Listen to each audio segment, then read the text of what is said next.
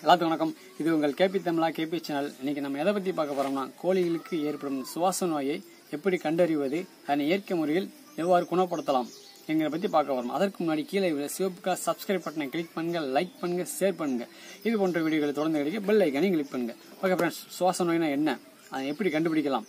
அதனை இயற்கை முறையில் எப்படி குணப்படுத்தலாம்? பார்க்கலாம்.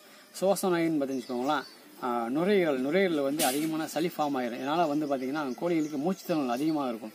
சரியாக இறை எடுக்காது. இதனால பெருமளவு வந்து வெயிட் ரொம்ப லாஸ் ஆகும்.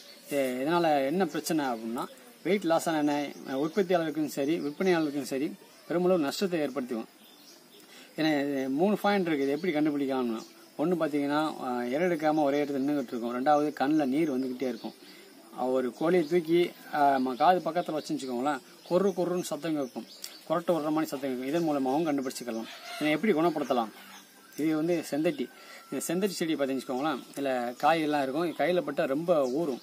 இந்த செந்தட்டி வேரை கட் பண்ணி இதை பவுடர் பண்ணி ஐம்பது கிராம் அளவு எடுத்துக்கிட்டேன்னு வச்சுக்கோங்களேன் பத்து கோழிக்கு தந்த மாதிரி தீவனத்தில் வந்து மிக்ஸ் பண்ணி வச்சுருக்காங்க. ரெண்டு நாளில் சரியாயிரும். எந்த ஒரு இயற்கை மெடிசனாலும் சரி எந்த ஒரு மெடிசனாலும் சரி குறைஞ்சது மூணு நாள் கண்டிப்பாக கொடுத்தே ஆகணும். அப்படின்னா தான் வந்து எந்த ஒரு நோயாக இருந்தாலும் க்யூர் ஆகும்.